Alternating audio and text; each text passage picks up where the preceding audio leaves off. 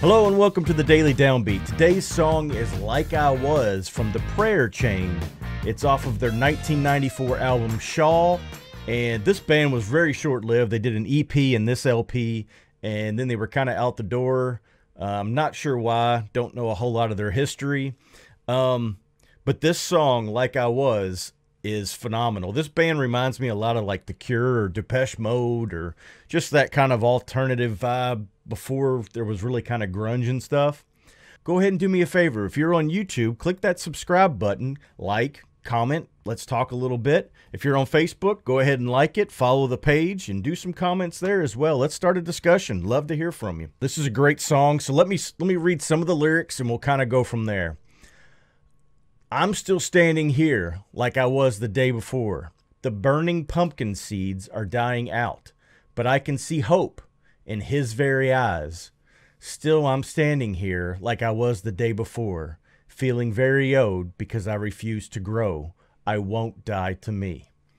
So, what we're looking at here is somebody that's pretty stagnant in their faith. They know the right, they know they've been saved, they, they uh, have seen the light, they know Jesus and that's according to the Bible. So we're going to look at Revelation 3 15 through 22. I know you inside and out, and find little to my liking. You're not hot, you're not cold. Far better to be either hot or cold. You're stale, you're stagnant, you make me want to vomit. You brag, I'm rich, I've got it made, I need nothing from anyone. Oblivious that in fact you're a pitiful blind beggar threadbare, and homeless. Here's what I want you to do buy your gold from me, gold that's been through the refiner's fire. Then you'll be rich. Buy your clothes from me, clothes designed in heaven. You've gone around half naked long enough. And buy medicine for your eyes from me so you can see, really see. The people I love, I call to account, prod and correct and guide so that they'll live at their best. Up on your feet then. About face, run after God. Look at me, I stand at the door, I knock. If you hear me call and open the door, I'll come right in and sit down to supper with you. Conquerors will sit alongside me at the head table, just as I, having conquered, took the place of honor at the side of my Father. That's my gift to the conquerors.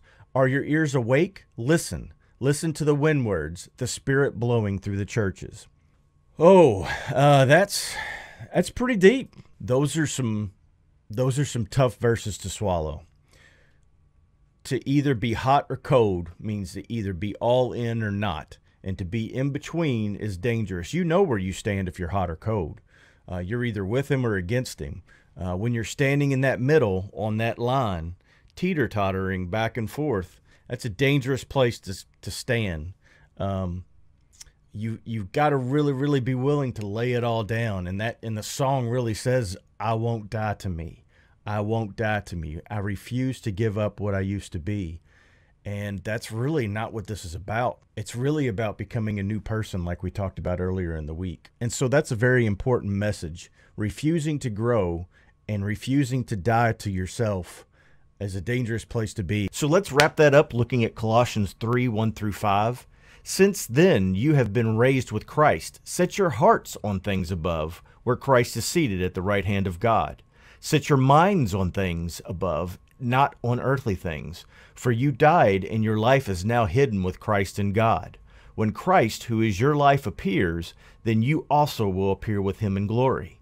Put to death, therefore, whatever belongs to your earthly nature sexual immorality, impurity, lust, evil desires, and greed, which is idolatry.